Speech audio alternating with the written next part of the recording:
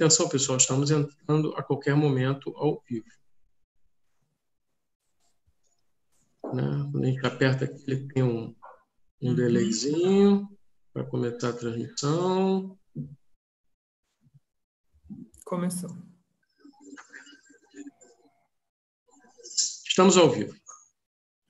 Ok, bom dia, pessoal. Vamos então dar início ao segundo módulo do curso de metodologia de pesquisa em, em computação. Né? Este módulo será ministrado pelo professor Roberto Pereira. O Roberto é professor na Universidade Federal do Paraná, em Curitiba, onde atua na graduação eh, e na pós-graduação em computação. Roberto é graduado em sistemas de informação fez depois um mestrado em computação na, aqui no Paraná, na UEM, e depois foi para o doutorado na Unicamp, no IC, uh, onde fez doutorado com a professora Cecília na área de interação humano-computador, que é aí um dos seus principais interesses de pesquisa, dentre outros aí. Né? Então, o Roberto vai é, falar para a gente de pesquisa como resolução de problema. Então, agradecemos aí o Roberto, que também é um dos, dos organizadores deste curso, né, que agora dá início à sua fala.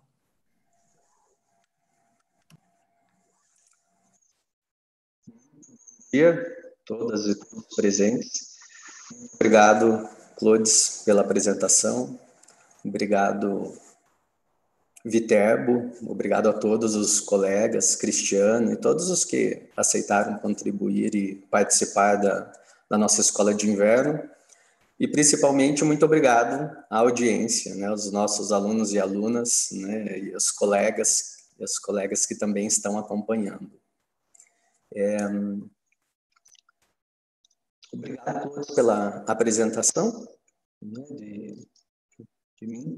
É, do, das, dos itens que o Clodes falou, né, o, atualmente ele trabalha comigo no comitê editorial da revista Horizontes, então o Clodes tem, tem atuado comigo como editor geral, né, e além da SBC Horizontes, que é uma revista voltada para divulgação científica, né, divulgação de ciência, tecnologia, discussão, popularização, é, a Horizontes ela visa promover um, um espaço para debate crítico né, dos conteúdos relevantes à, à computação. Então, desde já, eu convido todos vocês para visitar a, a né, para vocês verem os conteúdos que nós temos produzido e compartilhado lá. Um, o principal ponto para eu trazer aqui para vocês, né, o principal é, ponto, pra, antes de eu começar a, a entrar no conteúdo do tema propriamente dito, o meu papel aqui é provocar vocês para que vocês pensem e que vocês possam refletir sobre a própria pesquisa, o próprio trabalho de vocês. Clodes, está aparecendo o meu vídeo. Então, eu não sei se. Resolvido. Então, fica o convite para vocês né, visitarem, visitem Horizontes, enviem matérias, compartilhem conteúdo. Lá é um espaço para discussão crítica. Né? É um espaço onde nós que discutir, dialogar com, com uma audiência muito mais ampla né, do que nós costumamos fazer nos nossos artigos científicos.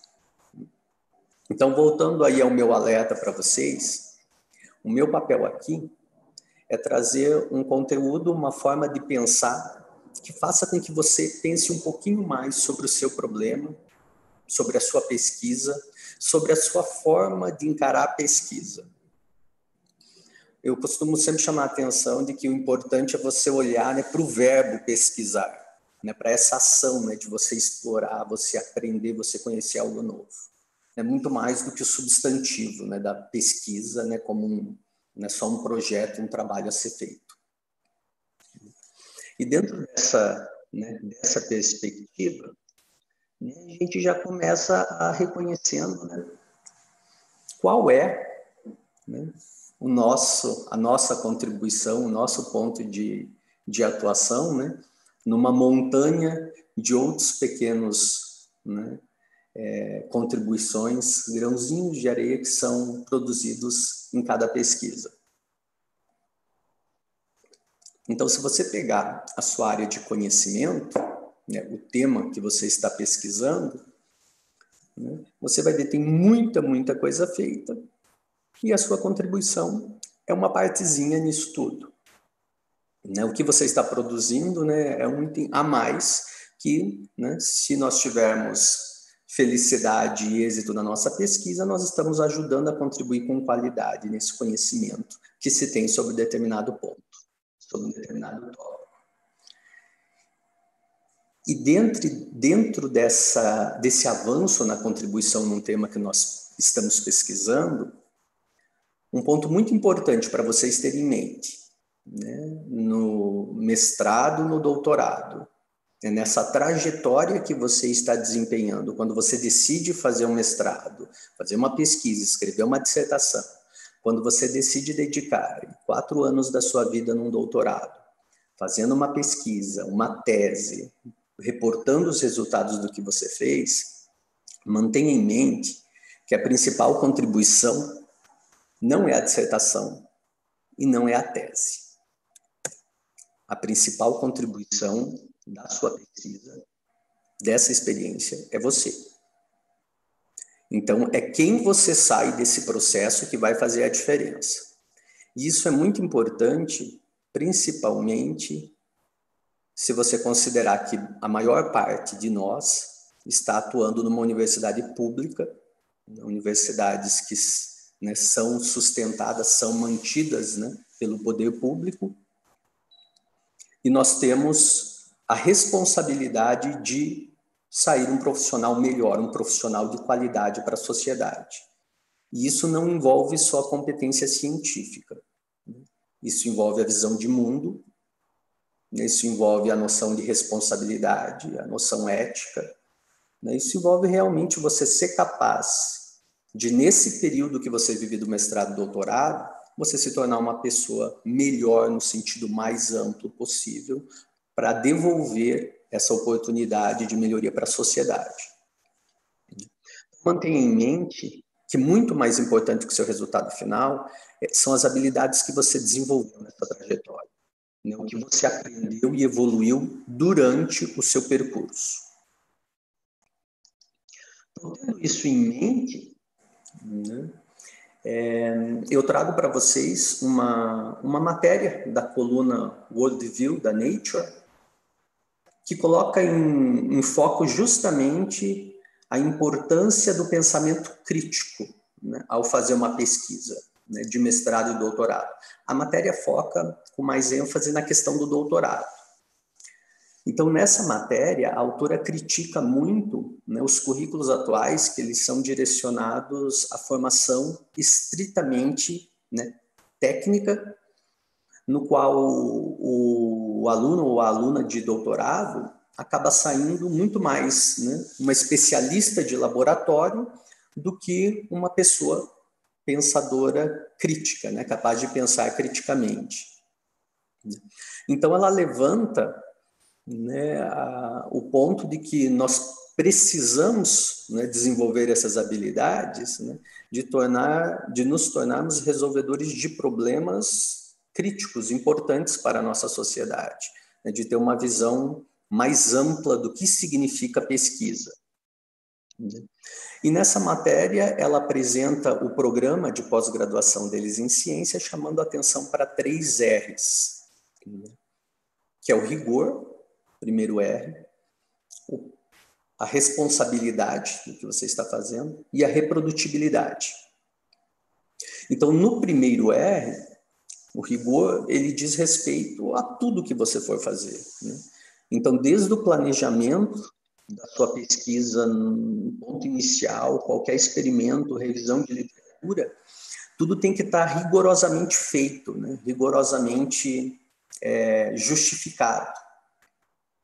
Então, se algo né, para fazer quando nós estamos fazendo pesquisa, qualquer coisa que você decida fazer, né, tem que ter um porquê. Né? Por que, que você está indo por esse caminho e não por, por outro? Né?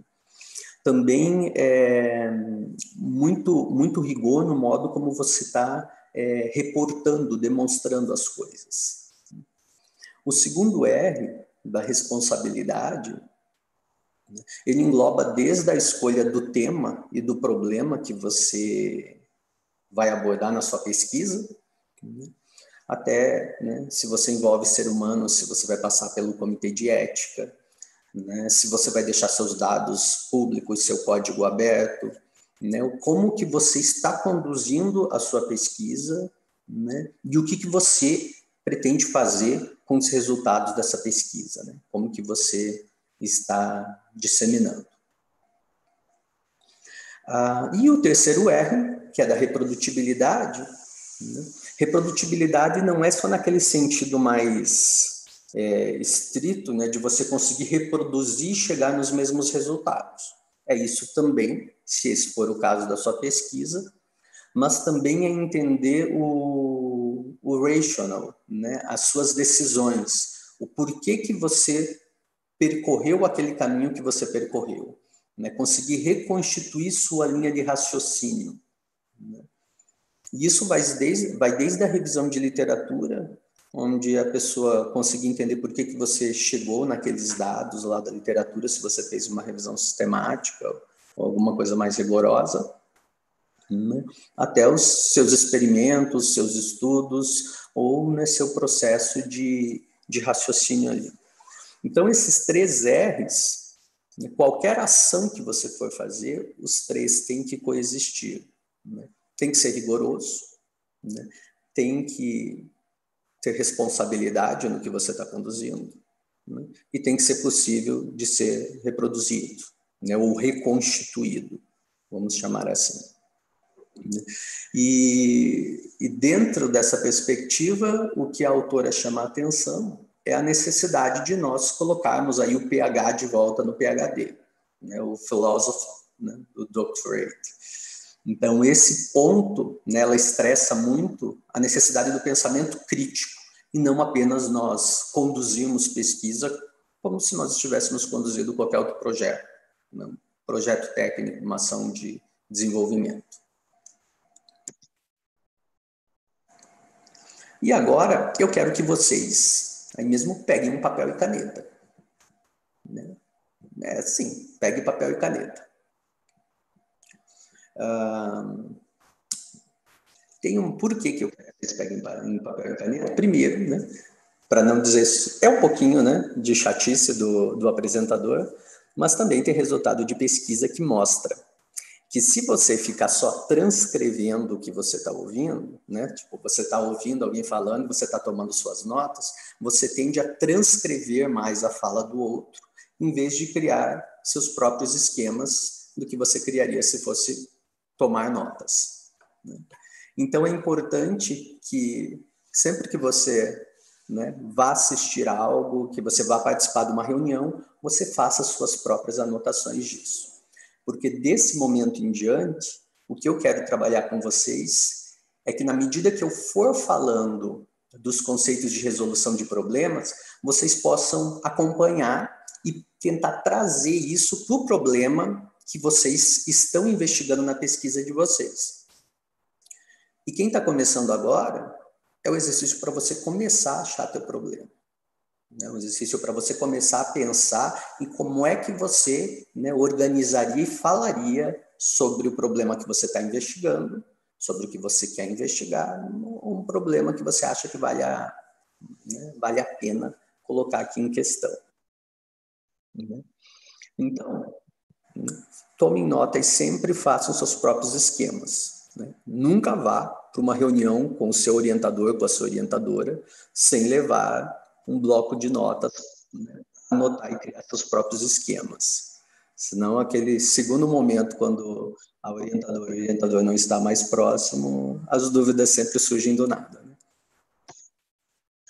Então, na minha fala aqui para vocês, eu vou falar né, vou trazer basicamente né, os meus pensamentos com, é, tirados né, e articulados de quatro obras. Né?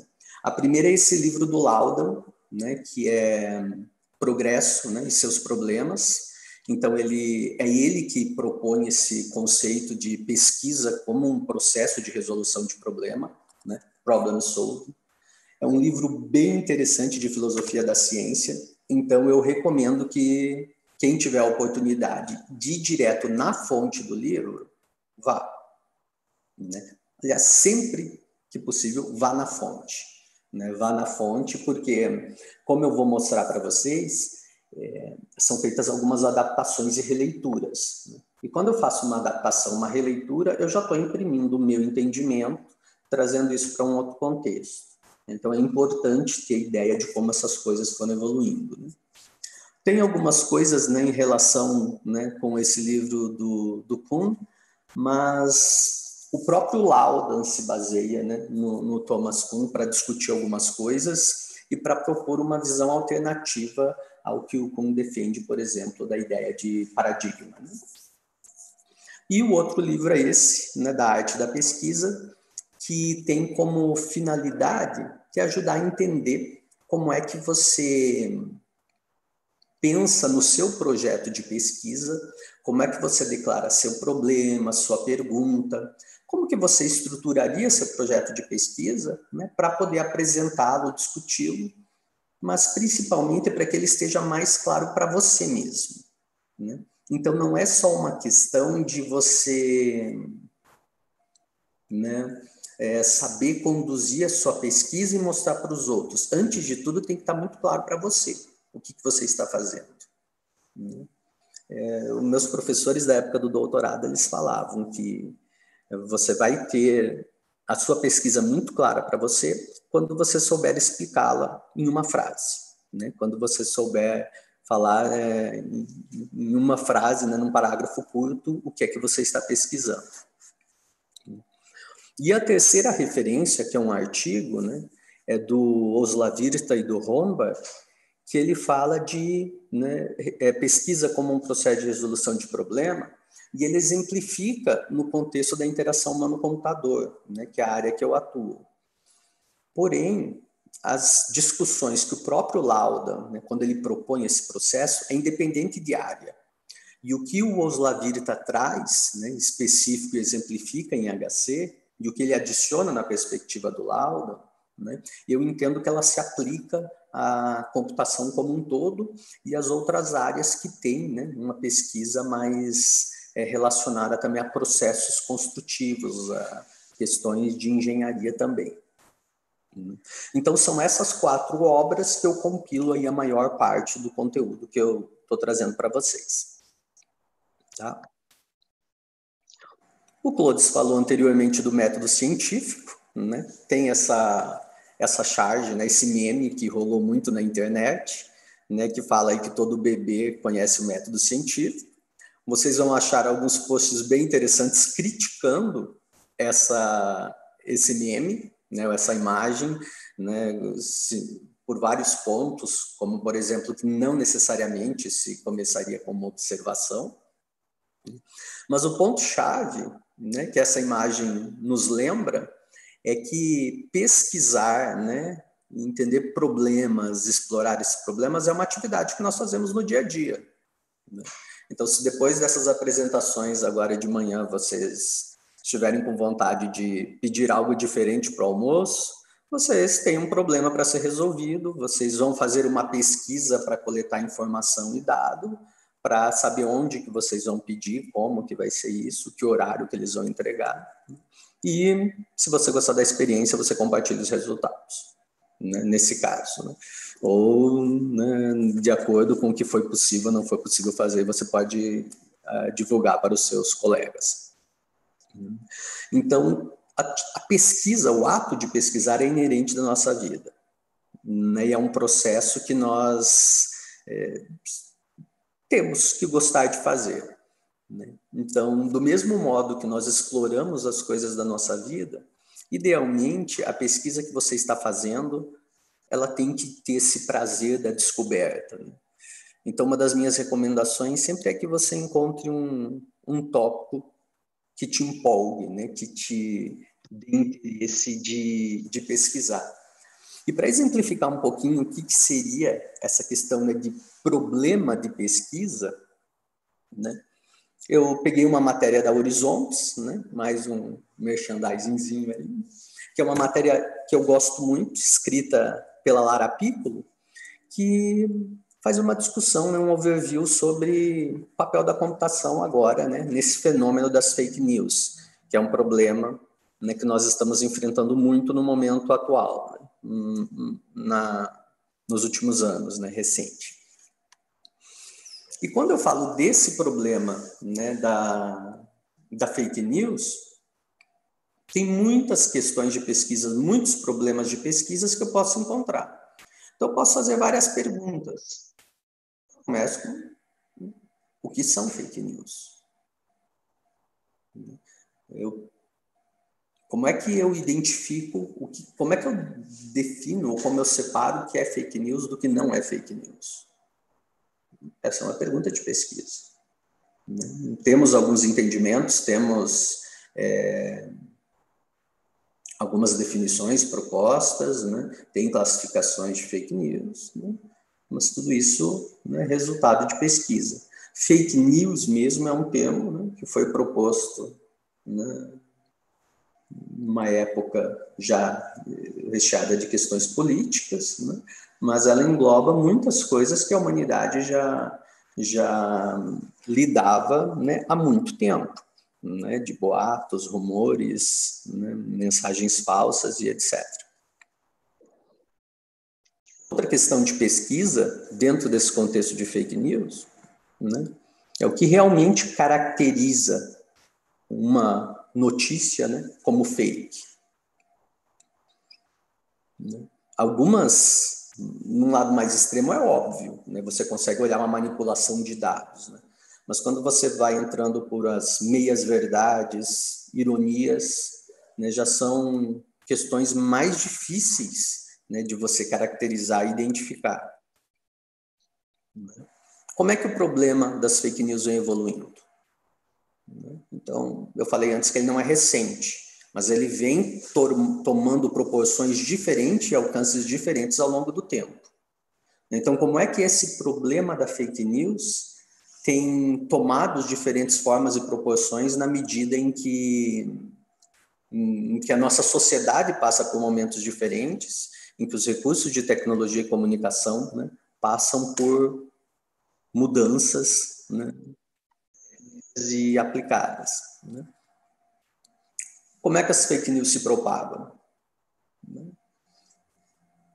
Como incêndio, né, mas qual é a, a estrutura né, de rede ou padrão de propagação? Né? Como que elas se disseminam tão, tão rápido né, para uma quantidade tão grande de pessoas?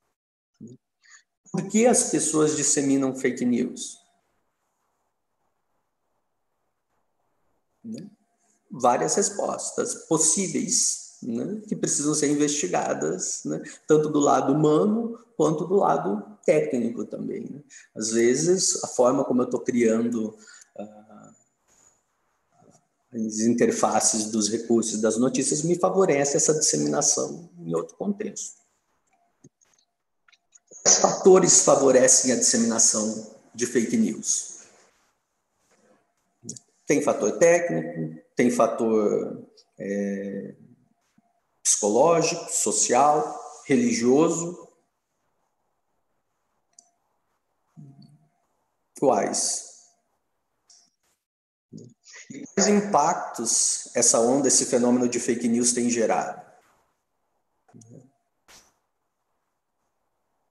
Né? Muito facilmente nós podemos encontrar notícias né, de pessoas que sofreram danos sérios causados por fake news. Um movimento anti-vacina ou um movimento né, de negação do coronavírus né, de seus efeitos. Enfim, nós temos uma larga série de exemplos né, de impactos que tem causado na fake news na sociedade, mas também nós temos impactos né, em termos de pesquisa né, do que ela está exigindo que nós possamos disseminar e avançar nas nossas áreas de pesquisa em computação, em tecnologia, em sociedade e tudo mais. Né? Como também ela tem exigido uma revisão de questões técnicas mesmo. Então, aqui no Brasil, né, todas essas perguntas, por exemplo, se vocês considerarem uma característica peculiar nossa, né, uma, né, característica comum aqui no Brasil é que as operadoras de telefonia celular elas ofereçam um pacote de dados que ele é ilimitado né, para dados via WhatsApp, via Facebook, para as mídias sociais. Então, se você tem né, um seu smartphone, você pega um pacote de dados desse né, e você consegue, mesmo quando terminam os dados, você consegue continuar usando essas aplicações sociais, né? que é um, né? seria uma espécie de violação à neutralidade da rede. Tem um lado bom, né? que as pessoas conseguem continuar usando e se comunicando independente né? Da, dessa questão né? dos créditos das operadoras. O lado ruim né? é que a pessoa ela está restrita a essas aplicações. Então, a pessoa que se comunica por WhatsApp e recebe suas notícias só no WhatsApp, mesmo que ela queira né, se questionar sobre uma informação que ela recebe, ela não consegue buscar fora do WhatsApp. Né? Por exemplo, ela não consegue fazer uma busca no Google né, e acessar outros tipos de dados, outros materiais que ajudem ela a se informar, além do que aquela né, comunicação unilateral que ela está tendo naquele momento. Então, a gente tem um cenário perfeito para disseminação né, de fake news em massa. Né, normalmente para públicos né, que não têm condições ainda de, de, de acessar planos de dados de opções maiores. E uma outra questão né, totalmente relevante é como, como identificar fake news. Né? Todas essas perguntas elas têm relações entre si, elas contribuem para resolver entre si, e todas elas dariam um objeto de investigação muito profundo. Né? Então, tanto né, de uma perspectiva mais técnica, né, de uma perspectiva né, conceitual, uma perspectiva social aplicada, né, nós podemos olhar para essas perguntas e ver muitas possibilidades de resposta. E aí, que se eu tenho tantas possibilidades né, de investigação, como é que eu me situo em torno disso para saber, né, para conseguir colocar um objeto de pesquisa aí no meu mestrado e no doutorado, né, para dizer qual é meu problema. Né, e então eu fazer uma pesquisa que seja coerente com esse problema. No livro Arte da Pesquisa, os autores sugerem cinco passos que são importantes para que você consiga é, organizar suas ideias e você consiga se situar, conduzir um projeto de pesquisa. O primeiro dele, né, óbvio, né, você encontrar um interesse numa ampla área temática. Um exemplo que eu estava dando para vocês das perguntas, fake news, né, o fenômeno das fake news. Agora, tem muita coisa ali dentro, né? Eu estava falando até agora há pouco de várias perguntas, então cada uma delas eu poderia me debruçar e fazer muita coisa. Dentro disso, eu vou me situar e achar um pontinho. Eu gosto né, da parte ali de detecção automática, né? nesse esquema que a Lara propôs, mostrando vários, vários problemas. Né? Então, gosto muito desse tema. O alerta que eu deixo é para você né? Se é para você se apaixonar, apaixone-se pelo ato de pesquisar, não pelo necessariamente pelo que, pelo seu objeto ou pelo tema que você está pesquisando. Né? Que você precisa sempre manter a cabeça aberta né? para ver coisas diferentes, né? para ver críticas que vão te ajudar a pensar de modo diferente do que aquilo que você tinha em mente, né? ou daquilo que você estava esperando.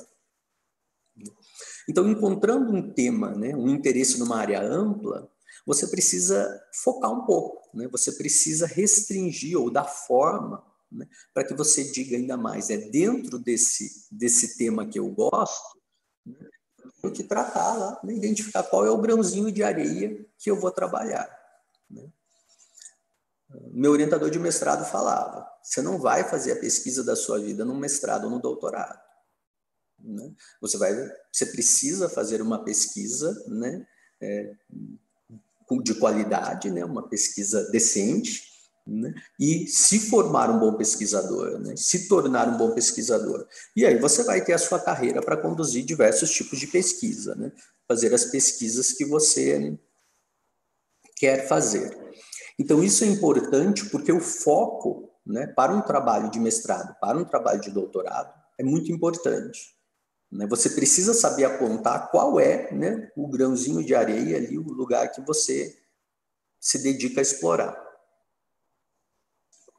Aí não basta né, você fazer essa restrição do tema e já mergulhar de cabeça, né, já começar a fazer algo sem você ter se situado completamente nele.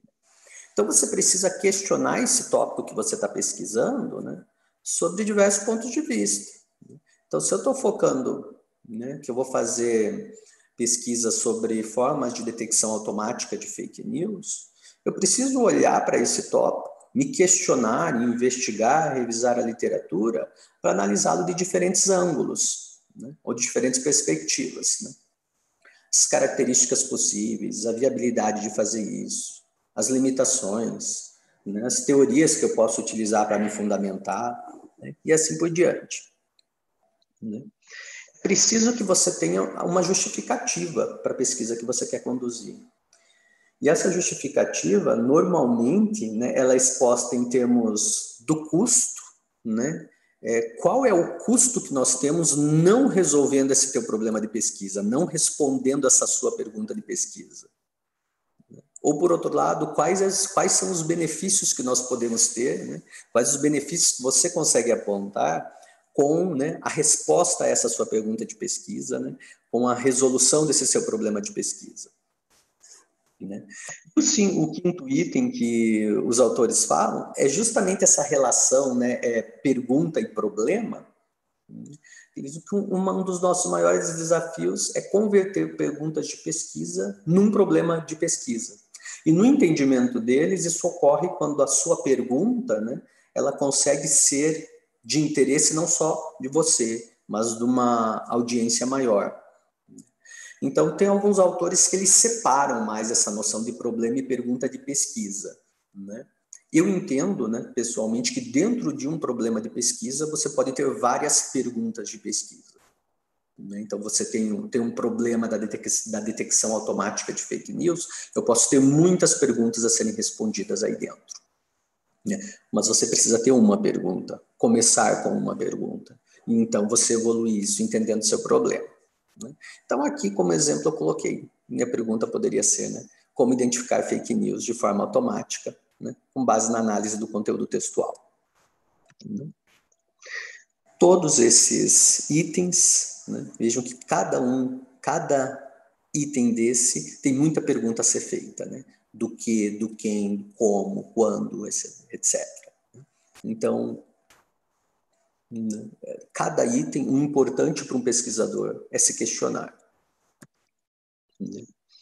Então, eles propõem, né, os autores desse livro, eles propõem uma estrutura bem básica para você praticar o exercício de você mesmo ter claro, para você, em primeiro lugar, qual é né, o seu problema de pesquisa. E eles sugerem três elementos. Primeiro, né, especifique seu tópico. Então, meu tópico nesse caso era fake news disseminadas em redes sociais. Formule a sua pergunta. Pergunta que eu formulei aqui é: há padrões ou características comuns nos conteúdos que são compartilhados? E justifique. Né? Justifique dizendo né, por que, que isso é interessante, que vale a pena. Para entender né, se e como nós podemos identificá-las analisando seu conteúdo. E aí, né, os autores sugerem que você crie né, uma frase bem curtinha, tentando expor sua ideia. Eu estou estudando fake news disseminadas em redes sociais para descobrir se há padrões ou características de seu conteúdo, porque eu quero entender como identificá-las. Isso é um ponto de partida. Né? Esse processo ele é iterativo. Então, na medida que você for avançando, que você vai se questionando, novas perguntas vão surgindo, né? Que vão te ajudar a delimitar e a clarificar melhor o teu escopo da pesquisa. Né? que vai desde o contexto, é, em qualquer rede social, né, é, padrão e característica com relação ao quê, né, e o que, que tu pode fazer com isso, identificando, né? Mas o ponto-chave é você começar a dar uma forma, né, para esse teu problema, para você deixar claro e falar de uma forma bem clara que problema é esse. Né? Então agora, né, rapidão, um papel e caneta que vocês devem ter pego, certamente, quando eu falei no primeiro slide, né? Um minuto. Faz um esboço agora, né? Qual é o tópico que você está estudando?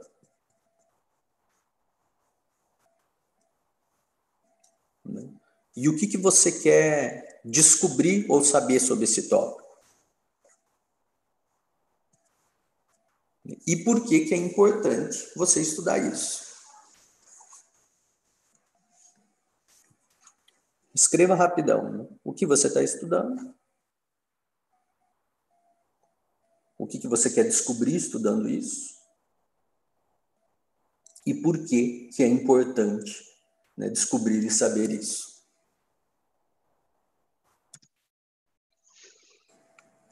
E o que os autores aqui destacam é que essa capacidade né, de você expor seu problema né, e tornar ele interessante para uma audiência mais ampla né, é o que caracteriza um bom pesquisador. Um minuto passou, né, agora eu vou focar mais né, no que o Laudan nos traz sobre resolução de problemas. Né? O Laudan e o que o Lavirta uh, estende para a questão de né, da, da área da computação.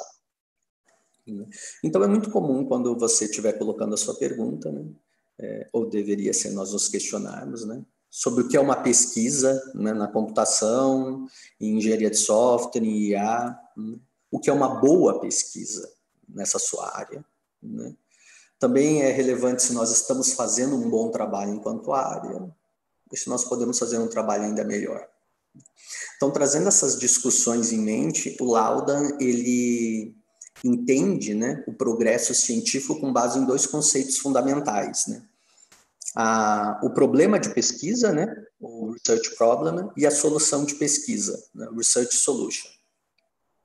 E o que o Laudan traz de muito interessante né, é que o problema, né, ele não é, né, o problema, como eu citei antes, né, de você fazer um pedido, né, para o almoço, né, mas ele é um problema que representa aí, uma habilidade, uma falta, né, de conhecimento, né, na nossa capacidade de entender e descrever as coisas, né. Isso era um, um isso é uma característica chave dos problemas de pesquisa, né. E o Laudan destaca, né, que esses problemas eles surgem num contexto então, esses nossos problemas de pesquisa, eles não são isolados, né, fora de um contexto que dá sentido a eles. Na verdade, o problema existe porque alguém considera ele um problema. Né? Problemas, né? alguém está considerando ele um problema e um problema que merece ser resolvido. Né? Se nós não tivéssemos pessoas considerando aquilo um problema, não seria um problema. E ele entende a solução como o resultado, né, o que você descobriu, né, o que você produziu na pesquisa. Então, você tem um problema de pesquisa, as ações que você conduz para tentar resolvê-lo né, é o que geram essa solução da pesquisa. Né? E para o Lauda, as soluções que nós produzimos, né, aquele grãozinho de areia, ele vai mudar um pouco o resultado da nossa habilidade de entender né, as coisas, né, a, a falta né, de entender de conhecimento algo, mas ele muda de diferentes formas. Né? Então é isso que ele chama da nossa capacidade né, é, de resolução de problemas. Né? E aí ele começa, né? Ele mesmo reconhece né, o ponto óbvio, né, que a ciência né, né, busca resolver problemas, né, mas quais problemas seriam esses? Né? Que tipo de problemas seriam comuns, né, ou nós poderíamos classificar? O que, que torna os problemas mais importantes do outro? Né? E fazendo essa discussão, né, ele traz os conceitos aí de progresso e de racionalidade na ciência, né, e ele critica ah, o modo como esses conceitos normalmente eram tratados como isolados, né? Então, progresso era um conceito que ele iria ocorrendo né, sobre o tempo, né, então as coisas vão, vão progredindo, e a racionalidade né, como né, algo ali permanente né, que informaria nessa tomada de decisão, de ação, né, de justificativa ao longo desse progresso. Né. Então, o progresso basicamente ia, ia acontecendo por si. E o que ele traz de perspectiva, né, essa dessa relação deles é que quando você está avançando no teu progresso, você já está mudando também a sua capacidade né, de entender e de raciocinar sobre as coisas. Então, progresso e racionalidade eles são integrados. Né? E como ele falou ali no, no, na citação do slide anterior, né, isso tem a ver né, num contexto. Né, isso não está isolado né, do que ele chama aí de uma research tradition, né, de uma tradição, uma forma de pesquisa. E ele vê que essa questão de olhar para a ciência como um processo de resolução de problema, né, como um conceito capaz de unificar né, diferentes vertentes, né, ou diferentes até paradigmas de, de pesquisa na ciência.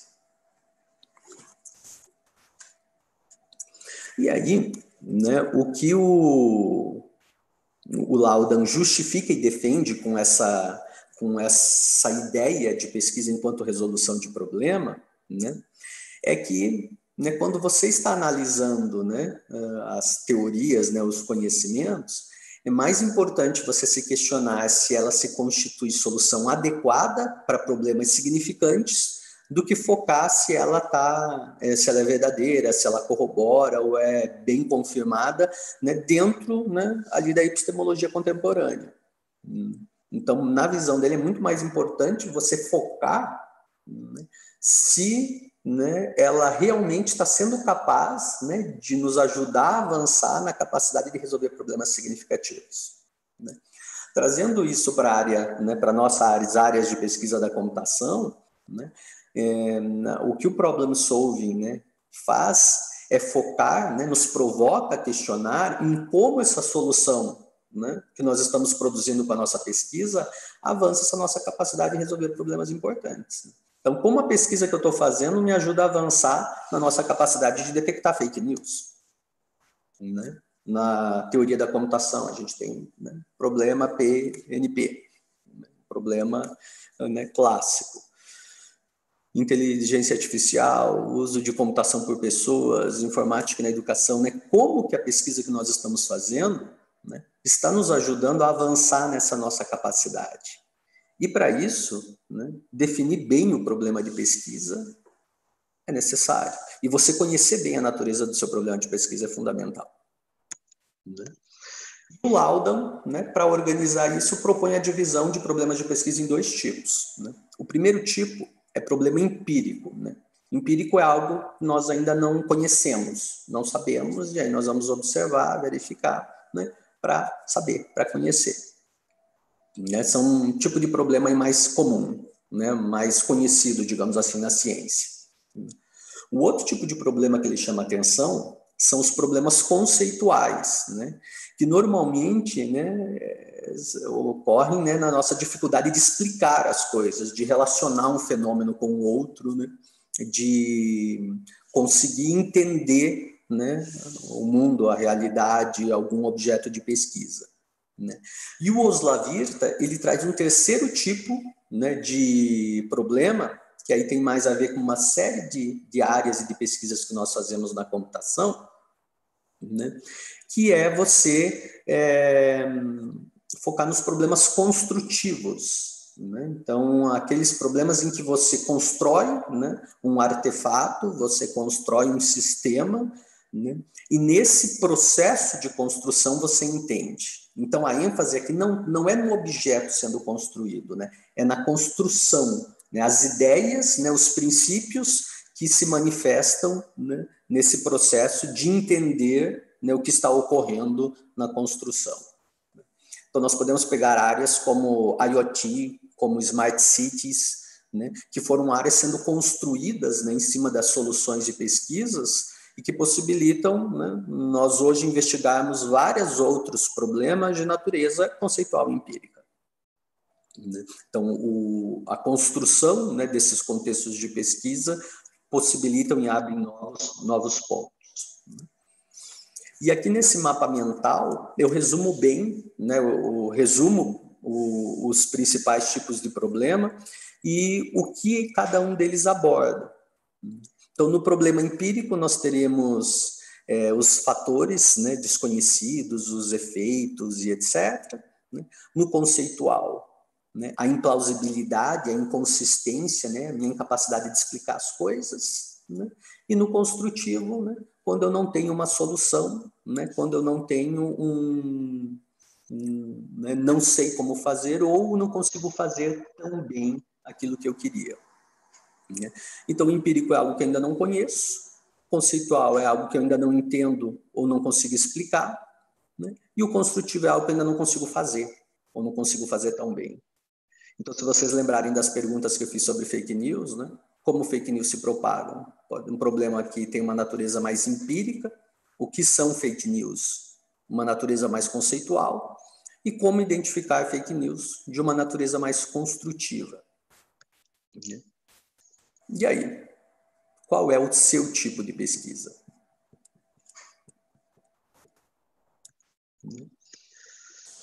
O importante, ou um ponto interessante de considerar a sua pesquisa como resolução de problema num desses tipos, né, é que essa forma de apresentar, né, ela é independente de paradigma. Né? Então, por exemplo, um tipo de pesquisa empírico, ele não vai fazer diferenciação se você está né, numa abordagem quantitativa ou qualitativa. O conceitual não vai fazer diferenciação em qual paradigma você está se subscrevendo ou qual modelo conceitual você está adotando.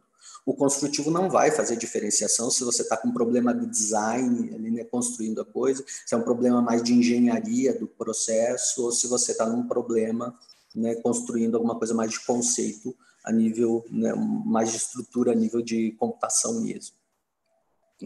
Então, essa forma, ela, né, digamos assim, é mais livre dessas outras classificações. Né? Por isso que é importante, conheça seu problema. Porque se você consegue entender a natureza desse problema, você consegue pensar em como a solução né, que você vai desenvolver vai estar adequada a ele. E essa tua solução, idealmente, né, ela tem que nos ajudar né, a resolver melhor o problema que você enunciou. Né? Então, seja que aí eu sabia algo que eu não sabia, né? Aí eu entender algo que eu não entendia antes da sua pesquisa, aí eu consegui fazer algo né, que eu não conseguia fazer antes, ou eu consegui fazer esse algo melhor. E aí o Laudan sugere outras formas, né, itens que são importantes para avaliar a pesquisa, né, para nos ajudar a saber, por exemplo, né, se a solução que nós estamos produzindo, qual é a qualidade, né, a contribuição dela. Então, por exemplo, significância. Essa solução que você contribuiu, ela está ajudando né, a resolver o problema das partes interessadas? Aqui na direita eu trouxe um exemplo de um, de um sistema que foi criado pela, pela Ruby Ascari, no qual as pessoas criam gestos personalizados para poder interagir com uma interface, né, utilizando aí né, os seus próprios gestos. Então, pega uma webcam de, simples, né, a pessoa consegue configurar os gestos e quais ações vão ser executadas. E a criar pranchas de comunicação alternativa também. Né. Então, né, é, ela contribui para o problema das partes interessadas. Né? ela visa né, contribuir tanto com a cuidador da pessoa que não consegue se comunicar e se expressar, né, até com a própria pessoa que vai conseguir usar a tecnologia. Né. Ah, ela também contribui com o pesquisador né, e com os técnicos que conseguem criar soluções customizadas com base na infraestrutura que ela providenciou. Né. Efetividade, se essa resolução resolve, se essa solução resolve aspectos essenciais do problema, né, então não adianta você fazer toda uma pesquisa e não resolver o que importa. Né? Nesse caso, a efetividade, a pessoa consegue configurar é, os seus gestos para interagir com a solução. A efetividade pode ser melhorada, né, porque ainda há uma dependência de uma pessoa né, fazendo configurações básicas. Né? E se o, se a pessoa que tem limitações, for, essas limitações forem muito severas, né, com um movimento muito sutil, por exemplo, do olho ou da sobrancelha, né, é, ela pode experimentar dificuldade e não conseguirá usar o sistema sozinho. Então, a efetividade pode ser melhorada. A eficiência é com relação ao custos-benefício do que você está fazendo. Né? Se você está contribuindo com relação ao custo que você está trazendo, né? e se você consegue estar tá fazendo um uso otimizado dos recursos. Né? Então, todo esse, no caso da, da Rubia, toda essa infraestrutura, ela foi pensada né, para funcionar em equipamentos de baixo custo, né, ter um poder de processamento compatível né, e capaz de fazer esse reconhecimento. Né? Agora, ela não né, vai ter um conjunto de componentes computacionais que ela não vai se adequar. Né? Transferência, o quão bem, né, o, o quanto que a solução que você está propondo se aplica também a outras instâncias do mesmo problema ou a problemas similares. Né? Então, a outras pessoas com outros, né, outros, outras deficiências, outras limitações, utilizando outros conjuntos de gestos. E o último que é adicionado pelo Oslavirta né, é confiança. Né? Qual as chances dessa que essa solução que você está né, tá propondo, que ela se sustente, ela se mantenha? Né? Em termos, por exemplo, de confiabilidade e validade. Né? Qual é a precisão né, desse reconhecimento dos gestos, a eficiência do que a gente está conseguindo fazer? Né? E as chances disso ser adotado pelo público-alvo. Então, se você tem o teu problema e a tua solução, né, você deve analisá-lo, né, por essas dimensões para você conseguir mostrar o quão bem, né, ou o quanto que você está ajudando com a tua solução a resolver a nossa capacidade, a, a aumentar a nossa capacidade de resolver aquele problema. E isso né, faria um ciclo né, de progresso do que nós conhecemos e nós conseguimos fazer. Né? Você tem o seu problema, a sua pergunta, né? você entende a natureza dele, você percorre né, a sua pesquisa com os métodos adequados à natureza do seu problema. Né? Aí, quando você produz a sua solução, você avalia, você analisa ela né, de diferentes dimensões, e isso né? já aumenta o entendimento, já aumenta o que nós conseguimos entender e fazer, que automaticamente abre espaço para as novas perguntas, para novas hipóteses, né? num ciclo de desenvolvimento, de aperfeiçoamento né? progressivo, né? onde né, as questões lá de progresso e racionalidade né, são conectadas. Né? E aí a gente tem né, algumas críticas a isso, né? eu não vou me ater muito tempo porque meu tempo já está no fim, né? Uh, mas né, há críticas que se isso é uma visão utilitarista, que não focaria só problemas né, muito é, pontuais, né? Hum, é, na verdade, é uma perspectiva, então, um problema conceitual é um problema, é algo que você não sabe, algo que você quer saber por curiosidade, problema. Né? Né, problemas sociais, problemas políticos, problemas aplicados. Né? Aí tem a questão justamente do conceito de problema, que se ele tem a ver com algo que nós não sabemos, não entendemos, não conseguimos fazer, né? então, sim, ele é um problema de pesquisa. Né? Se ele é só um problema ir lá e resolver com o que tem, é um problema prático, né? um problema atual. Né? Então, o problema de pesquisa ele tem que aplicar. Então, eu posso sim ter problemas sociais e políticos, desde que envolvam né? aprender algo. Né? precisa de mais aprofundamento nesse ciclo contínuo né, de, de clareza e de avanço. Né? E se isso não é só mais uma forma de apresentar as coisas, é uma forma de apresentar as coisas. Né? E é uma ferramenta, uma thinking tool. E aí o que vocês têm que ter em mente é que na hora que vocês vão apresentar ah, o problema de vocês e como vocês estão trabalhando, né, vocês precisam saber se posicionar. Isso aqui, né, resolução de problema, é uma forma de se posicionar, é uma forma de mostrar a pesquisa que vocês estão fazendo e, pelo menos, vocês conseguirem deixar muito claro qual é o problema que a sua pesquisa trata né, e como que a sua pesquisa, como que a solução que você produz melhora a nossa capacidade de resolver esse problema. Eu termino deixando algumas citações para vocês de um livro que eu gosto bastante. Né? E Duas delas, né, que merecem ser lidas, né? Uma é que não há conhecimento absoluto. Então, aqueles que o clamam, sejam eles cientistas ou dogmáticos, abrem a porta para a tragédia. Né? E o outro né, é que é importante que vocês tragam sempre né, as irreverências e os pensamentos de vocês. Né? Vocês né, não estão aqui para venerar o que se sabe. Né? Vocês estão aqui para questionar isso. Tá? Então, uma boa jornada na pesquisa de vocês e eu recomendo fortemente que vocês é, cheguem na fonte né, desses livros, principalmente ali do artigo do Oslavita, que já vai dar uma visão e uma capacidade de vocês pegarem escreverem esse problema de vocês, entenderem ele em qual tipo de, né, de problema vocês vocês estão abordando para ver se a solução de vocês está adequada com ele, né? faz sentido no contexto desse problema, né? para saber como expor, como conduzir e assim melhorar rigor, reprodutibilidade e responsabilidade. Tá bom? Muito obrigado. Obrigado, Clodes, e eu devolvo minha palavra agora. Obrigado, Roberto. Bom, pelo que eu olhei aqui rapidamente, não identifiquei perguntas, né? mas é, eu queria te fazer uma, enquanto vamos ver se o pessoal se anima ali. Como que você percebe uh, nos alunos né, que você tem orientado e que eventualmente tem adotado essa perspectiva de, de, de, de, resolução, de pesquisa como resolução de problema, como que é, né, é, o, o aluno começar a se entender nessa perspectiva de condução é, da sua pesquisa? Você acha isso fácil, hard? O que eu tenho sentido é que isso contribui bastante né, com o desenvolvimento da maturidade né, da pessoa sobre o que ela está fazendo. Né?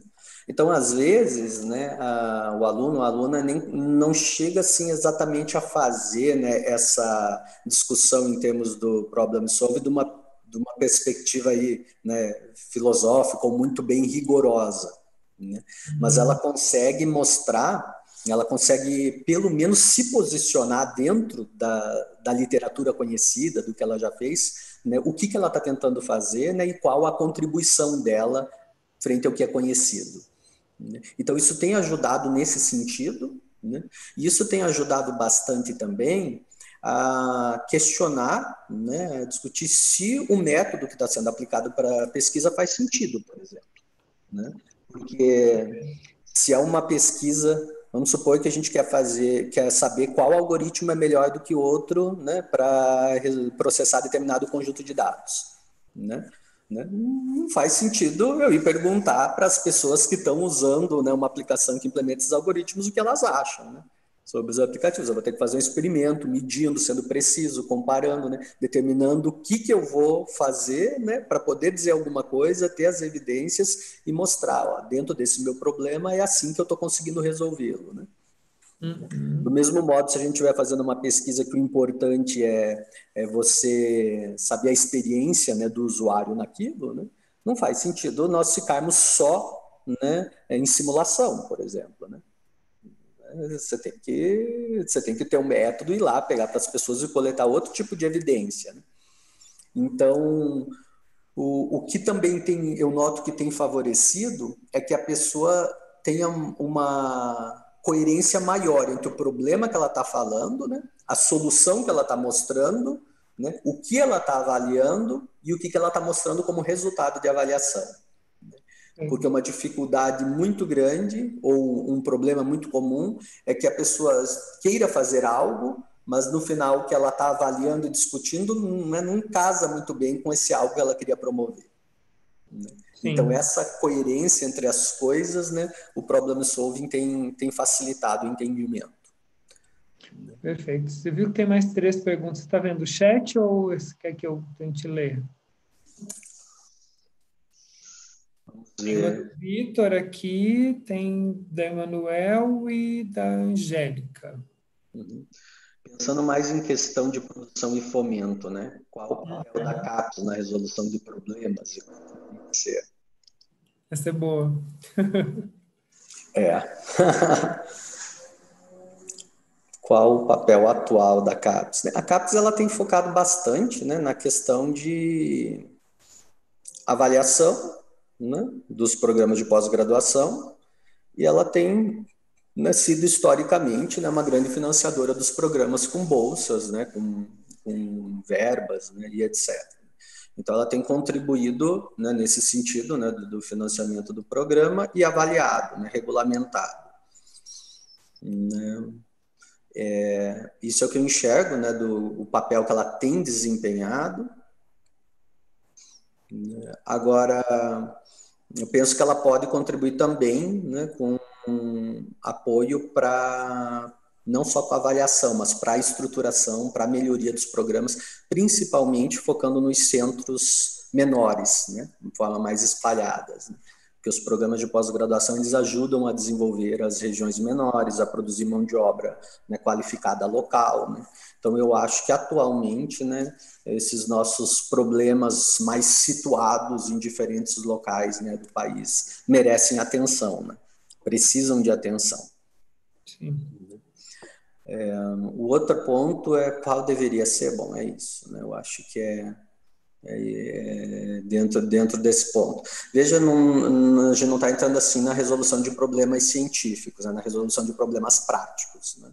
ela, né, de como né, dela nos, nos apoiar nessa infraestrutura né, de promover o desenvolvimento científico, né, não só nos grandes centros já consolidados, mas nas outras áreas também.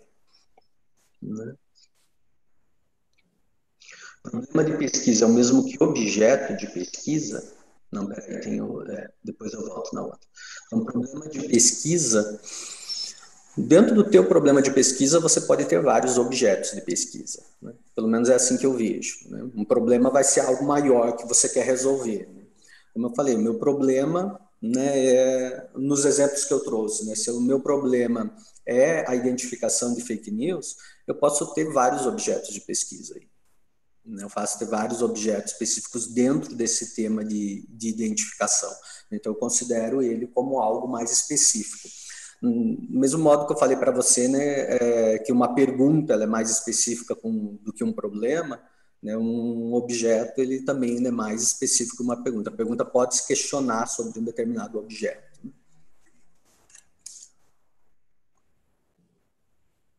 Um problema filosófico é um problema científico? Não necessariamente, né? Não necessariamente. Né?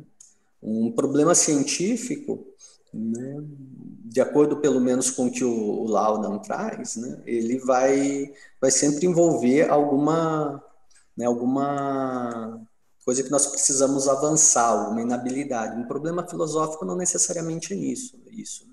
O problema filosófico pode ser né, eu só tomar uma decisão, né? ou entender se é X ou Y, alguma coisa. Né? Então, uma coisa não se reduz à outra. Né? Agora, eu tenho, sim, problemas científicos na filosofia. Né? Sim. Uhum. É essas, né? É, acho que a gente tem que ir também para outra sala, se ficar eventualmente alguma outra questão, acho que tem aqui, a gente depois, naquele esquema que o Viterbo falou, de eventualmente criar um FAQ na página, a gente responder depois, né? Uhum. Mas muito obrigado, então, Roberto, pela, pela palestra, né, por estar aí com a gente nessa organização. Agradecemos também a todos aí que, que estão nos, nos assistindo nos diferentes canais.